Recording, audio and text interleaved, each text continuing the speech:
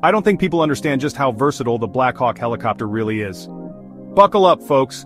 The Sikorsky UH-60 Black Hawk isn't just a helicopter, it's a legend. First flown in 1974 and introduced in 79 it replaced the iconic Huey and has been a game-changer ever since.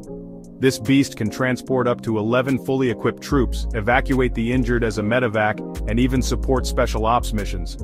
With a top speed of around 183 miles per hour and a range of 360 miles, it's got the stats to back up its reputation. Need firepower? It can be armed with door-mounted guns, rockets, and missiles. From Grenada to Afghanistan, the Black Hawk has been there, doing it all. And it's not just the US over 30 countries rely on this incredible machine. Whether it's for combat, humanitarian aid, or disaster relief, the Black Hawk delivers. As we look to the future, upgrades continue, but one thing's for sure, the Blackhawks' legacy is set in stone. Long live the Black Hawk.